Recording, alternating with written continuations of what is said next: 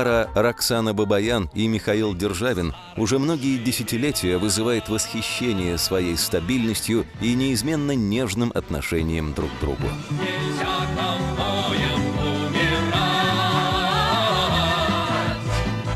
Они совершенно не похожи друг на друга внешне, хотя прожили в любви и согласии больше 30 лет и давно стали единым целым.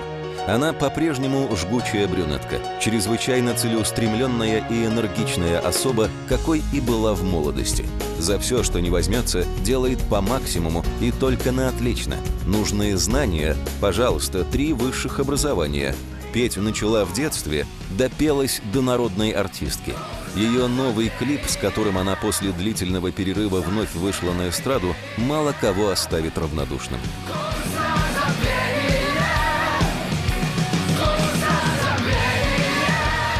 Он – полная противоположность жене, седой, как лунь, с глазами очень мудрого и веселого человека. Спокойный, рассудительный, мягкий и интеллигентный, с поразительной способностью в разговоре не давить на собеседника, а деликатно разворачивать разговор в нужное русло. Любовь не картошкой не бросишь в окошко, как пел Андрюша Миронов. Я э, понимаю э, вот это вот слово «любовь» как тягу одного человека к другому. Их встреча произошла в начале 80-х в аэропорту Домодедово. В джаз «Казган» на комсомольский концерт для шахтеров высадили целый десант столичных звезд. Роксана, тогда уже известная певица, только что вернулась с международного конкурса с победой и мечтала об одном – отдохнуть. Поэтому не собиралась никуда ехать. Но телефонный звонок из ЦК ВЛКСМ нарушил все планы. У нас были такие приключенческие очень гастроли, потому что там были порядка 60 человек. Для шахтеров Джазказгана поехала обойма кино, драматических, арти- артистов эстрады. Державин был покорен, увидев очаровательную девушку в модном брючном костюме. Да и Роксана не смогла устоять перед его магнетическим обаянием.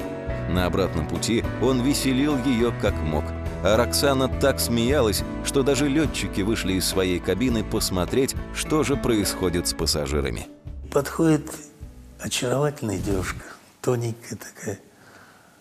И Боря Владимир говорит, а вот и наша Роксаночка. И вот два с половиной часа или три часа рядом сидели. Там можно было сесть в самолете как угодно, потому что летели одни артисты, знаменитейший самолет весь. Я сидел, и тут на меня нашло вдохновение. И вот эти вот, наверное, два с половиной часа я рассказывал о веселых историях, о театре сатиры, все. И сложилось впечатление у Бори Владимира, говорит, ты знаешь, ты ей понравился. Это просто, значит, он... Но оказалось правда.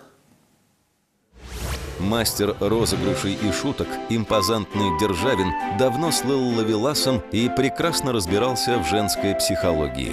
Роксана Бабаян была не первым его серьезным увлечением. Михаил Михайлович всегда вел себя честно, женился и сохранял хорошие отношения со всеми бывшими женами, несмотря на то, что уходил от них первым. Все его супруги были из известных семей. Первая жена Катя – дочь легендарного Аркадия Райкина. Вторая – Нина, не менее знаменитого маршала Советского Союза Семена Буденова. Мы до сих пор э, друзья и с, с Ниночкой, Семенной я имею в виду. Это вторая моя жена. Катеньку очень редко вижу, но тоже совершенно вот я восхищаюсь. Так что вот эти браки предыдущие, может, это был и тренировочный комплекс большой.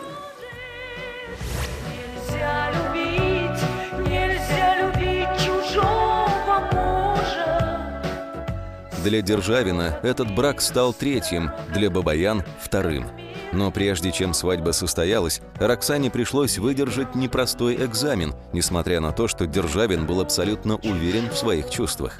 О своем разводе с Ниной Буденной Михаил сообщил будущей жене телеграммой, а после устроил ей смотрины. Инициатором затеи был старинный приятель Александр Ширвинд. Шура, конечно, зная меня близко очень всю жизнь, и понимая, что третий раз может быть брак, он собрал большую компанию, я ее привел, там были замечательные люди, и Гриша Горин, и дядя Зяма Герт, еще там масса наших прекрасных людей, известных всей стране.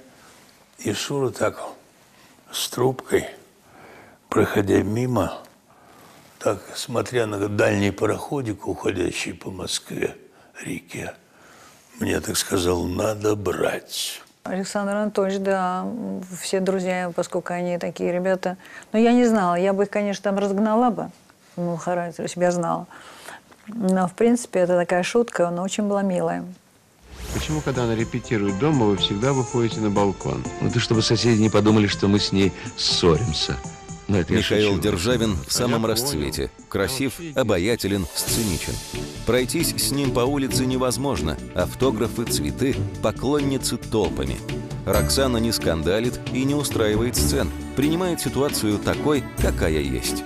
Если ты хочешь, чтобы тебя полюбили, полюби сначала самого себя, а потом полюби этого человека, который поймет, что такое любовь, и тогда он тоже полюбит и себя, и тебя, понимаете?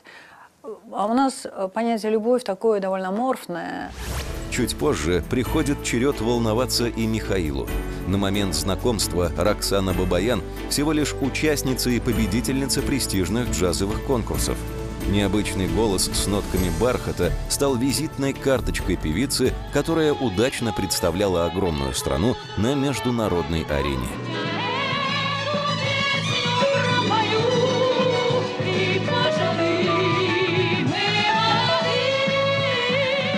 Я там, получ... я там все премии забрала.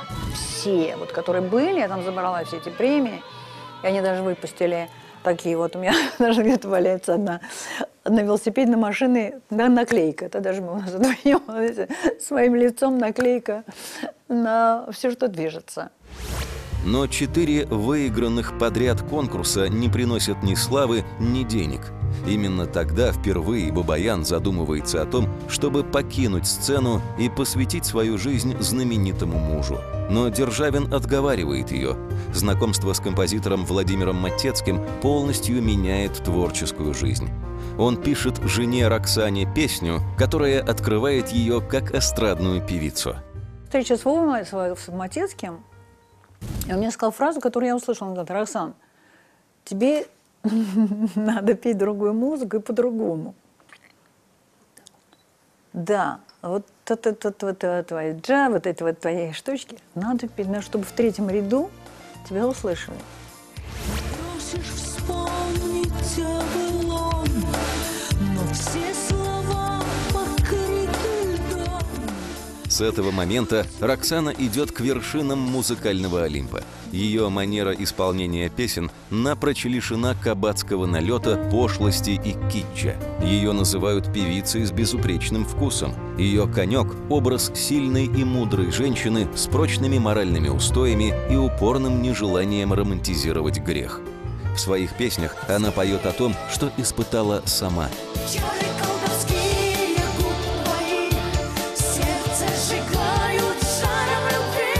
Когда человек а, меняет одну семью на другую, но при этом оставляет за собой чистое поле, не разбивает ее. Мы с Михаилом Михайловичем с чистыми руками ушли в новую жизнь. Не я не разбила семью чью-то, и не он.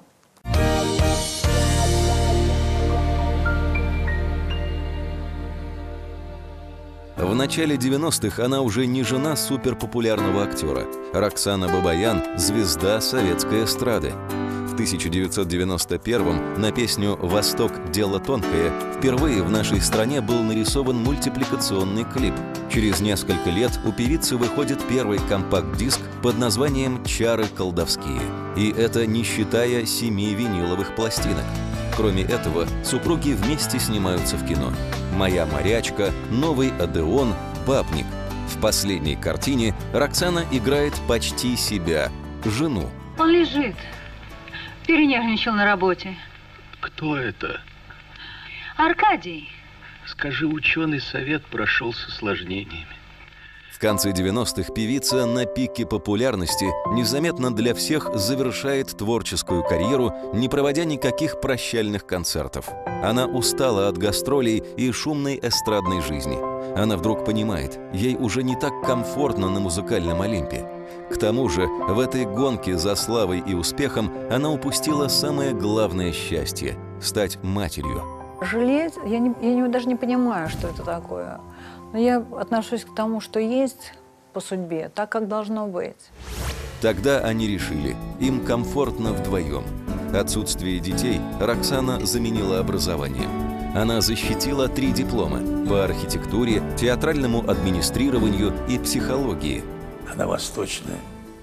Да. Может быть, это в восточных женщинах такая уловка женская. Они все умеют незаметно для тебя управлять тобой так, что ты не... Действительно... У Роксаны прекрасные отношения и с Машей, единственной дочерью Михаила Михайловича, внуками Петром и Павлом и со всеми бывшими женами своего мужа. Именно она смогла погасить обиды, недомолвки и объединить вместе большую семью. Нам, меня моложе, ну, на 10 лет, считайте так. И я думаю, что женщина, которая моложе мужчины на 10 лет, она его и старше лет на 20.